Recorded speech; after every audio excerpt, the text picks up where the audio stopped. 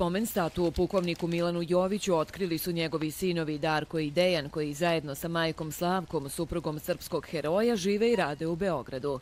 Milan Jović je jedan od 30.000 Srba koji su dali svoj život stvarajući Republiku Srpsku, rekao je njegovo preosveštenstvo, episkop Zvorničko-Tuzlanski Fotije, nakon čina osveštenja spomenika.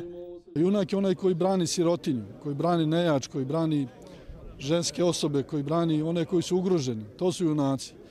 I tim putem, to je naša etika, etika od Kosova do danas i možemo slobodno reći da je Milan Jović bio jedan kosovski junak u naše vreme.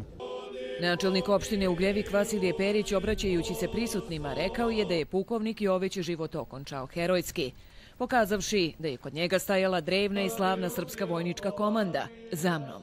Siguran sam da se neće dugo pamtiti ono što smo mi danas ovdje rekli, ali sam također siguran da će se dugo pamtiti sve ono što je pukovnik Milan Jović učinio za ovaj kraj. Predsjednik Boračke organizacije Republike Srpske Milomir Savčić rekao je da je pukovnik Jović poginuo predvodeći izviđačku grupu kao njihov komadant.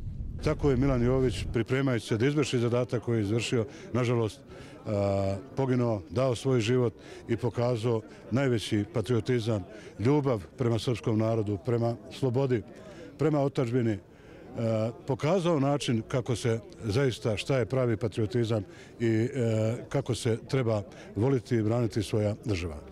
Spomen statua je dijelo Beogradskog vajara Miloša Komada, a njenu izradu finansirala je opština Ugljevik. Pukovnik Vojske Republike Srpske Milan Jović poginuo je 9. februara 1993. godine u selu Bilalići nadomak tadašnjeg muslimanskog uporišta Teočak.